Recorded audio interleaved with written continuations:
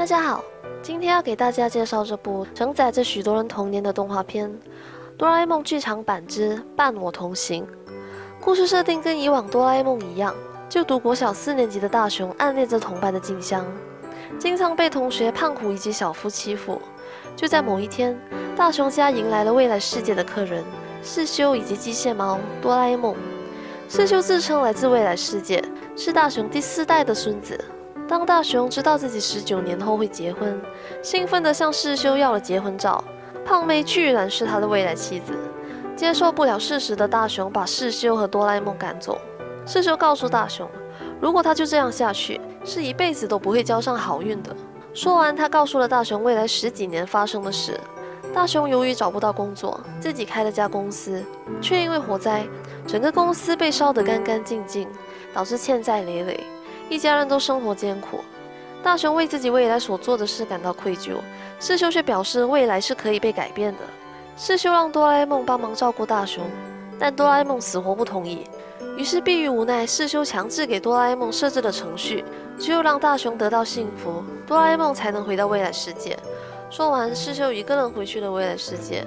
哆啦 A 梦第一件让大雄见识的道具是竹蜻蜓。从未见过竹蜻蜓的大雄，经过练习后逐渐熟练起来。他带哆啦 A 梦见了自己暗恋的静香，哆啦 A 梦同样认为静香不错，于是为了让大雄得到幸福，哆啦 A 梦决定帮助大雄，让他未来能与静香结婚。首先，第一步，哆啦 A 梦用任意门解决了大雄经常迟到的问题，再用记忆面包让大雄熟记课本上的内容，使大雄在考试中得心应手。胖虎再次欺负大雄的时候，哆啦 A 梦给了大雄隐形斗篷，让大雄能够在胖虎看不到他的情况下狠狠反击。大雄打碎了花瓶，哆啦 A 梦用时光布替大雄把花瓶变回原状。许多经典的道具都在这里一一出现，所以在这里我就不详细解说了。哆啦 A 梦的道具虽然帮助了大雄很多，可是大雄还有一个强劲的情敌——出木山。于是哆啦 A 梦拿出了他第 N 个道具——硬随蛋壳给了大雄，只要把人给装进去，十五分钟后蛋壳打开，该人就会爱上自己从蛋壳出来第一眼看见的人。大雄兴冲冲地拿着蛋壳要装下静香，却机缘巧合地撮合了胖虎以及小夫。回家后，哆啦 A 梦实际让静香掉入蛋壳，却因为之前胖虎和小夫的事，蝴蝶效应导致了静香从蛋壳出来第一眼看到的是出木山。出木山却要求哆啦 A 梦拿出解救静香的道具。自己虽然也喜欢静香，但想靠自己去赢得静香的心。哆啦 A 梦解除了静香的失恋状态，但这次。静香因为出木山的君子气度而对他有了好感，大雄彻底的陷入了绝望的状态，开始察觉出如果自己的本质不改变，就算用再多的道具也无法比出木山优秀的事实。于是他开始努力练习数学，考试当天却发现自己复习错了科目，最终考试仍然以零分告终。他再度消极起来，决定放弃追求静香，因为这样的自己只会阻碍静香未来的发展。放下的第一步是与静香断联。大雄向静香道别，不明就里的静香追了过来。大雄为了让静香讨厌自己，故意的掀起了静香的裙子。静香生气的打了大雄，跑走后却想起裙子被掀起时，大雄是闭着眼睛的。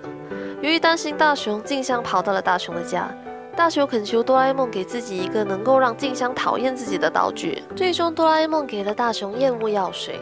大雄过于心急，一次把药水喝光，严重超出了分量，导致他的体内散发出令人感到难受、恶心、反感的气息。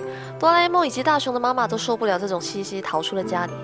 静香原本也想逃出门外，却因听到了大雄的求救声，她克制了自己，坚持住难受、恶心的感觉，爬到楼上去找大雄。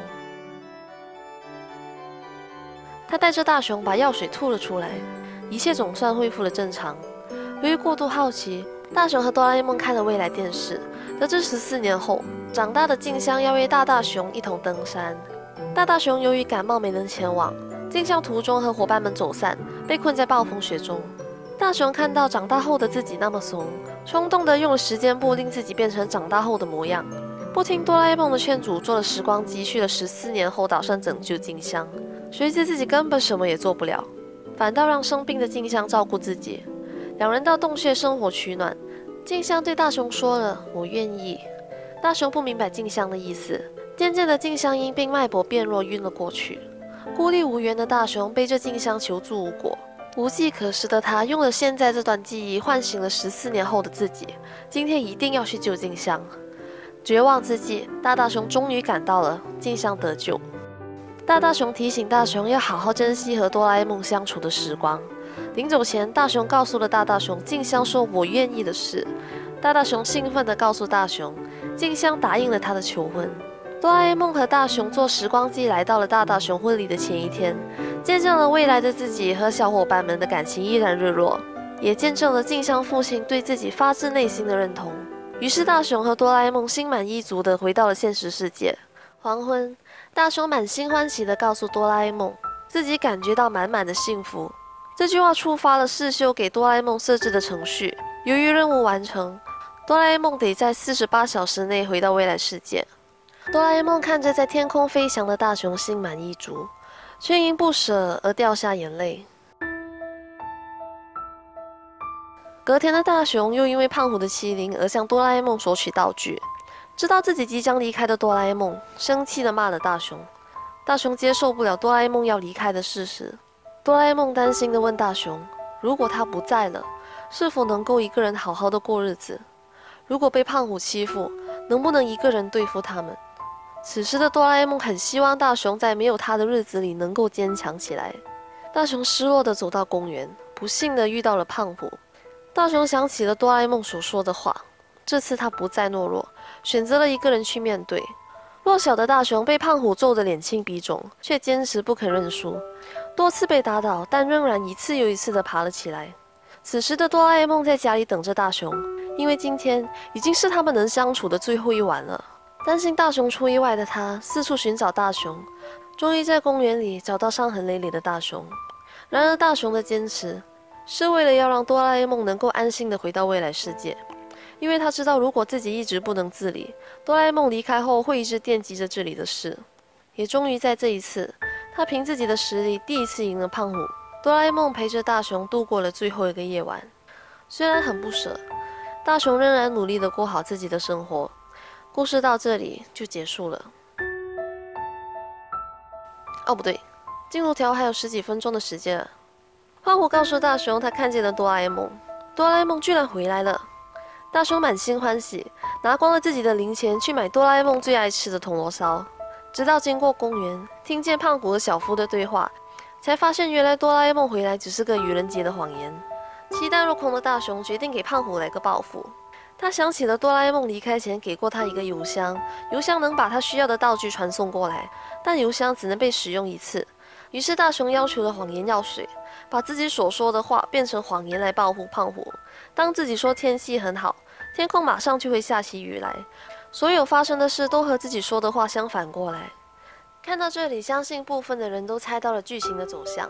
大雄报复完胖虎后，并没有觉得满足，因为他真的好想念哆啦 A 梦。失落感促使他说了“哆啦 A 梦永远不会回来了”这句话。哆啦 A 梦回来了，两人感动相拥。大雄流着泪说：“从今以后，我不要和哆啦 A 梦在一起，永远永远都不在一起。”故事到这里就结束了。《伴我同行》这部电影是纪念哆啦 A 梦作者藤子 F 不二雄八十周年诞生的作品。主线剧情串联了几个较为经典的短片，当中包含了《来自遥远的未来之国》、《再见静香》、《雪山浪漫史》、《大雄的结婚前夜》以及《别的哆啦 A 梦》。相对以往冒险版本的剧场版，这部作品更倾向于情怀，一幕幕带领我们重温儿时的记忆。每个人身边都有过属于自己的哆啦 A 梦。那个哆啦 A 梦或许是我们的父母，也或许是我们的朋友。他们在我们遇到问题的时候陪在我们身边，在成长的路上给予了我们勇气。唯一不一样的是，他们不会永远的陪在我们身边，总有一天他们会离我们远去。但当初弱小的我们，终能自己学会成长。小时候坐在电视机前看哆啦 A 梦的我们，相信现在都已经长大了。无论成长的路途怎么样，当初的那份回忆与感动将会一直保留在心里。在此，我要谢谢哆啦 A 梦陪伴我度过了一个美好的童年。又到了影片结束的时候，喜欢我影片的朋友欢迎点赞分享哦，点击订阅旁的铃铛，以便第一时间获取我的更新。我是魔女嘉尔，我们下期见。